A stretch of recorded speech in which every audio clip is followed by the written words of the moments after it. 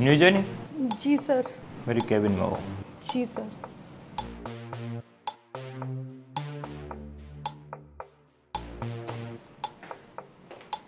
लगता है सर सुहागरात इसी के साथ मनाएँगे? अरे जी कोई नई बात थोड़ी ना है। ये तो बॉस का रोज का है। जो भी नई लड़की आती है वो सीधे कैबिन में जाती है। छोड़ो अपना काम करते हैं। सर मैं कम इन आओ। सर आपने बुलाया था। तुम इतनी दूर क्यों खड़ी हो? तुम्हारी जगह वहाँ थोड़ी है। तुम्हारी जगह तो यहाँ है मेरे पास। और जिस चेयर पे तुम बैठी थी ना वो स्टाफ के लिए तुम्हें तो मैं अपनी पर्सनल सेक्रेटरी बनाना चाहता हूँ। Sir personal secretary sir thank you so much sir. आपने मुझे इस लायक समझा। देखो अ, क्या नाम बताया आपने? सर मेघा। मेघा। मेघा। कुछ पाने के लिए कुछ खोना पड़ता है। नहीं तो अगर तुम्हें स्टाफ से बाहर निकल के मेरी पर्सनल सेक्रेटरी बनना है तो उसके लिए कुछ ना कुछ तो करना होगा।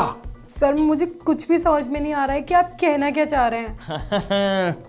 इतनी छोटी बच्ची भी नहीं हो मैं समझाता हूँ तुम्हें। देखो लाइफ में आगे बढ़ने के लिए एक चीज़ चाहिए जिसको बोलते हैं कॉम्प्रोमाइज सर मैं समझ गई कि आप क्या चाहते हैं। नहीं समझी मैं समझाता हूँ। कपड़े उतार। क्या? बदतमीज? क्या बोल रहा है मुझसे? तेरी इतनी हिम्मत कि तू मेरे ऊपर हाथ उठाती है। नौकरी से निकाल दूँगा तुझे। तेरी तेरी तो सैलरी तक ना दूँगा मैं। है प्रमोशन तो दूर की बात अपनी कंपनी के आसपास झांकने भी नहीं दूँगा। क्या बोला तूने? कि तू मुझे कंपनी से आउट करेगा। तू जानता भी है मैं कौन हूँ? कौन है तू? है कौन तू? मैं यहाँ की न्यू आईपीएस ऑफिसर हूँ। आईपीएस ऑफिसर जी हाँ आईपीएस ऑफिसर मुझे पता था कि तू अपनी गंदी हरकतों से ना बाज नहीं आएगा क्योंकि तू हर लड़की के साथ में ना यही हरकतें करता है। तेरी ना बहुत कंप्लेन्स आ रही थी। आए दिन किसी ना तेरे यहाँ की फीमेल एम्प्लॉयज़ मेरे ऑफ़िस में आके ना तेरी कंप्लेन दर्ज करा रही थी। पर अफसोस की बात यह है कि उनके पास में कोई सबूत नहीं था। तो मैं तुझे पकड़ती कैसे? तब मैंने एक चक्कर चलाया। मैं जाकर ना खुद तेरे ऑफ़िस में एम्प्लॉय बन जाती हूँ। कहीं ना कहीं तो अपनी गंदी हरकत तो करेगा ही ना। और मैं जब यहाँ पे इंटरव्यू देने के लिए आई ना तो इतफाक की बात तो ये थी कि मेरा इंटरव्यू हुआ ही नहीं। सिर्फ़ मुझे ऊपर से लेकर नीचे तक स्कैन किया गया कि मैं दिखती कैसी हूँ, मैं हूँ कैसी, क्योंकि बॉस को चाहिए क्या, है ना?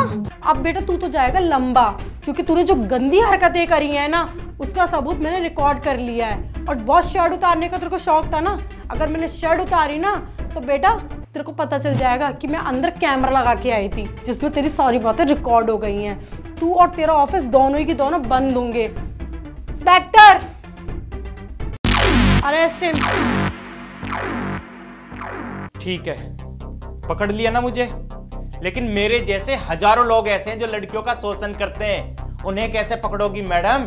जब तू पकड़ा गया है ना तो वो हज़ारों भी पकड़े जाएँगे। क्योंकि मैं उम्मीद करती हूँ कि ये वीडियो देखने के बाद में वो हर एक लड़की आवाज़ उठाएगी खुद के लिए जिनके साथ में ये घटिया हरकत होती है।